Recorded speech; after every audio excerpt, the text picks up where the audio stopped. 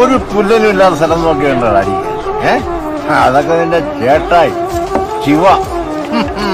കാട്ടില്ല